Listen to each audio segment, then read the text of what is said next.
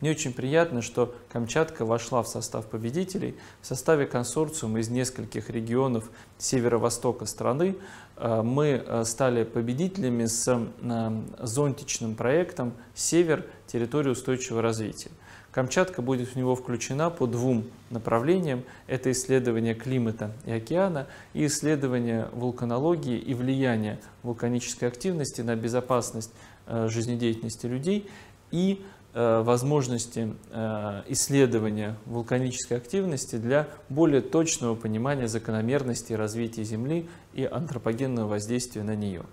НОЦ позволяет нам больше средства привлечь на эти направления, а это значит, что у нас будут создаваться новые лаборатории, будут привлекаться молодые ученые, и эти флагманские направления нашей науки активнее развиваться в ближайшие годы.